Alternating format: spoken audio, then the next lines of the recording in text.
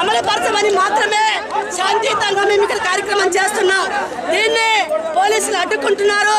ఇది కరెక్ట్ వైఖరి కాదు. ఈ వైఖరిని నిరసిస్తున్నాం. మహిళ